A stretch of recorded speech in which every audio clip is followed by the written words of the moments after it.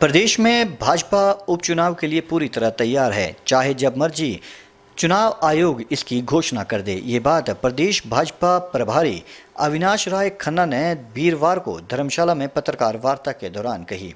खन्ना ने कहा कि प्रदेश में संगठन व सरकार में सामंजस्य का हर वर्ग को लाभ मिल रहा है। उन्होंने कहा कि कांग्रेस के पास कोई चेहरा नहीं है, जबकि भाजपा के पास प्रदेश के मुख्यमंत्री जयराम ठाकुर का नेतृत्व है।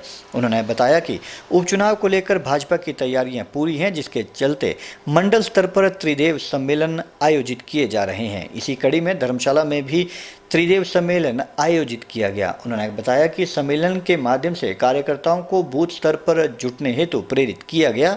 साथ ही केंद्र व प्रदेश सरकार की नीतियों को जन जन तक पहुँचाने का आह्वान भी किया गया। उन्होंने कहा कि कांग्रेस के समय में प्रदेश में सेब का समर्थन मूल्य मात्र 20 से 25 पैसे बढ़ता था।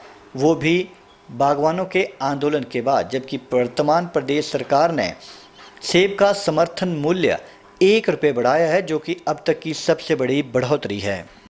प्रदेश भर में त्रिदेव, जो हमारे त्रिदेव हैं बूथ के ऊपर, उसको हम बूथ अध्यक्ष, पालक और बीएलए इन तीनों को मिलाकर उनको त्रिदेव बोलते हैं। उनका प्रदेश भर में प्रशिक्षण में चल रहे हैं। तो आज मेरा मेरा धर्मशाला में जाना हुआ। ये धर्मशाला विधानसभा का प्रशिक्षण प्रशिक्षण से बरता उसमें मुझे आ, अपनी बात कार्यकर्ताओं के साथ रखने का मौका मिला है। उपचुनाव भी सर सर पे हैं और मिशन रिपीट को लेकर के किस तरह की तैयारी है वहाँ पर? Bharatiya Janata party cadre based party है। हम लोग हर समय चुनाव के लिए तैयार रहते हैं। कोई चुनाव आए, पार्टी का कार्यकर्ता एक फौजी की तरह आप तैयार रहता है।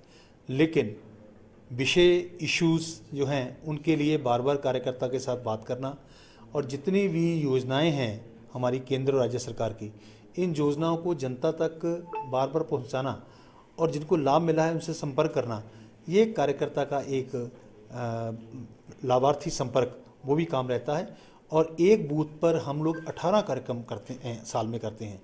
12 मन की बात छः कार्यक्रम हम लोग और करते हैं। उन कार्यक्रमों को लगातार करके हम लोग अपने बूथ को हमेशा एक्टिव रखते हैं, क्योंकि एक राजनीति में बूथ जीता, चुनाव जीता, उस कॉन्सेप्ट को लेकर हम कार्यकर्ता कैसे बात करते हैं और कार्यकर्ता बूथ जीते, उसके लिए वो प्रयास रहता है।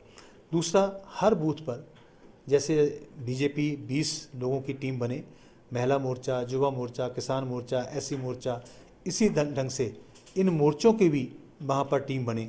उसके लिए कार्यकर्ता जो है एक अच्छा संगठन बूथ पर बने उसके लिए प्रयासरत है। हमारे प्रवास पूरे हो चुके हैं प्रभारी लग चुके हैं बैठकें हो चुकी हैं और ऑलमोस्ट सीएम का सीएम साहब का दौरा भी आ, इन सभी जगह हो चुका है और जो जो लोगों की डिमांड थी उनके लिए घोषणाएँ भी जो है हो चुकी हैं।